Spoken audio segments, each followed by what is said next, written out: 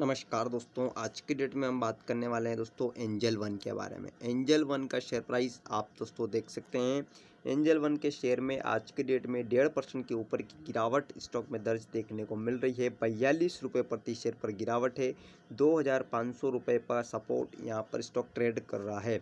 Stock में देखें तो स्टॉक यहाँ पर 2024 से ही गिरावट देखने को मिल रही है स्टॉक में।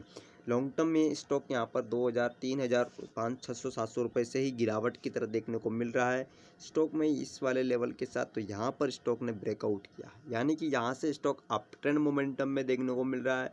और यहाँ पर स्टॉक ने 2800 का हाई दिया। वहाँ से फिर गिरावट देखने को मिल रही है। तो एक सपोर्ट यहाँ पर बना सकता है 2500 एंड 2400 पर।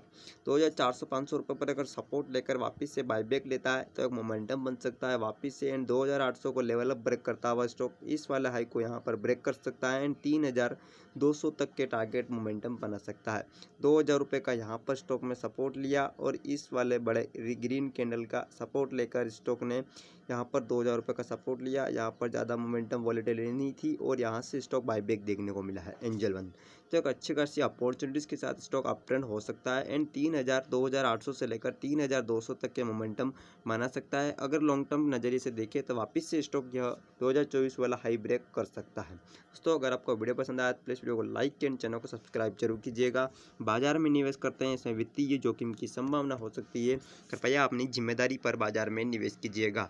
मिलते हैं अगले वीडियो में। जय हिंद जय भारत।